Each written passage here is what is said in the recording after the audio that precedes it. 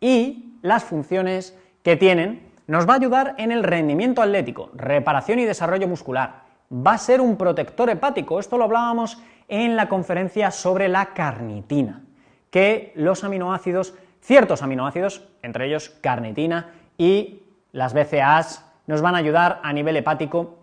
Nos va a ayudar también dentro de lo que es la protección neuromuscular, reparación de tejidos y nos va a ayudar tanto en el fallo renal crónico, en la fenilcetonuria y en la disquemia tardía. Estas son las principales, las ocho principales funciones de estos aminoácidos. Dentro de lo que es el rendimiento atlético, pues hay estudios que ya han visto que antes del ejercicio va a aumentar el rendimiento y mejorar la recuperación. De ahí que eh, sean muy conocidos dentro de eh, los gimnasios o el, ámbito deportivo para, pues, eh, sobre todo a nivel de musculación, poder tener una recuperación y un aumento de tejido mejor, teniendo en cuenta el entrenamiento. Va a prevenir también que eh, la masa muscular en, altitud se vaya eh, deteriorando, una prevención de, esa carencia de masa muscular y también que en ejercicios prolongados en calor extremo pues no baje el rendimiento. Es muy importante también que, sepamos eso. lógicamente nos va a ayudar al declive del funcionamiento mental que, eh, inducido por el, ejercicio. ¿Por qué? Porque eh, con un correcto aporte de estos aminoácidos, eh, lo que va a hacer, como las BCAAs interactúan y, digamos, compiten con, por ejemplo, el triptófano a la hora de entrar en el cerebro, si eh, tenemos unos bajos niveles de BCAA, va a entrar en el cerebro mucho triptófano y eso puede generar un cansancio excesivo post-entreno. De ahí que el aporte de BCAAs va a evitar pues, ese cansancio provocado por altos niveles de triptófano después del entrenamiento. Pueden ser útiles como fuente alternativa de energía cuando el glucógeno muscular se ha agotado, reduciendo así también la pérdida de los aminoácidos ramificados que ya están en el músculo. Si nosotros no tomamos ese complemento o ese suplemento de aminoácidos, pues lógicamente el cuerpo va a tirar de músculo después de gastar el glucógeno. Entonces va a evitar eso, ya que cuando el glucógeno se agota, los aminoácidos de cadena ramificada pueden contribuir entre un 5 a un 15% del rendimiento de energía del cuerpo. Entonces, para evitar que eso sea de nuestro propio cuerpo y, que poderlo hacer de la suplementación, pues es importante el tomarlo. Y son unos aminoácidos que para el rendimiento atlético, pues como estimula que el páncreas genere insulina y la insulina también ayuda a que los aminoácidos se utilicen y se asimilen de forma mejor, digamos que es un poco un beneficio de pescadilla que se muerde la cola. Por lo tanto, eh, a nivel deportivo es bastante interesante el aporte de estos aminoácidos.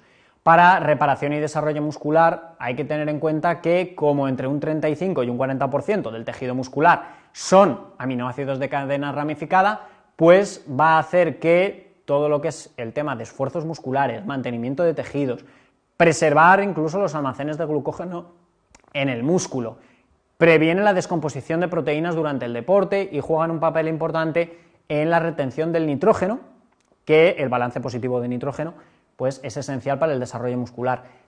Todo esto va a hacer que mejoren mucho a nivel de reparación de, tejidos, va precisamente a evitar que haya un desgaste y un deterioro a nivel muscular, de ahí que se considere pues, un, efecto anticatabólico dentro de lo que es el organismo.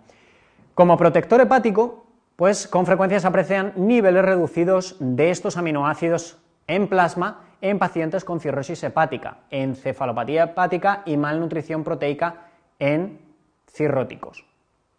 Como vemos, pues ahí tenemos la referencia número 9 eh, de los estudios clínicos y se ha demostrado que la suplementación puede apoyar a la salud hepática en alcohólicos con enfermedades hepáticas. ¿Por qué? Volvemos a lo mismo, porque si potenciamos en la generación y el cuidado de los aminoácidos en los órganos, pues ese deterioro constante que nosotros nos autoprovocamos por el estilo de vida se mitigan. Obviamente, si nosotros tenemos un problema hepático producido por alcohol, el primer paso es dejar de provocarnos el problema hepático por alcohol.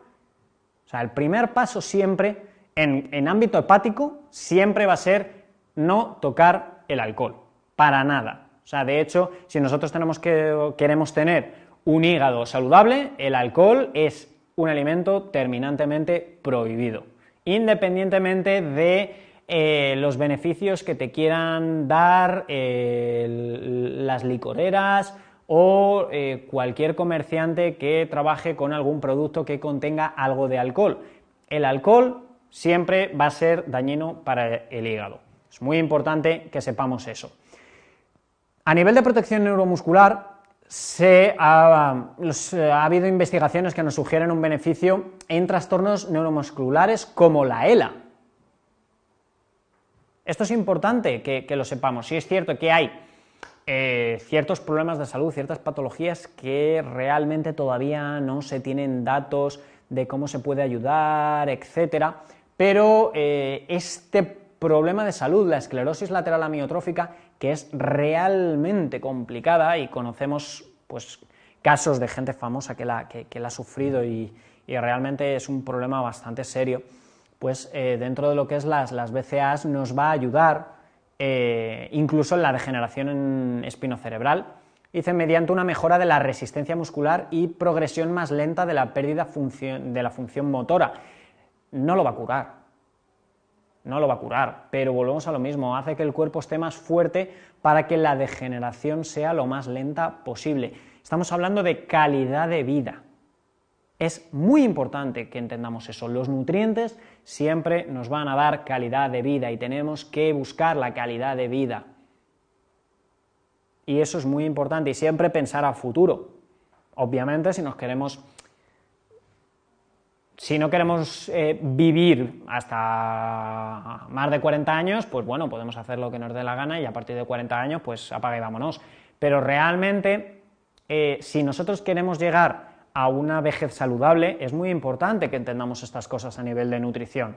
Porque cuando los nervios se degeneran no comunican correctamente con músculos y estos se degeneran a la vez. Entonces, eh, de ahí ese es el mayor de los problemas de, esa patología de la ELA. Entonces va a ayudar la BCA a ir ralentizando un poco ese, ese caso. A nivel de reparación y tejidos es prácticamente lo que hemos estado mencionando anteriormente.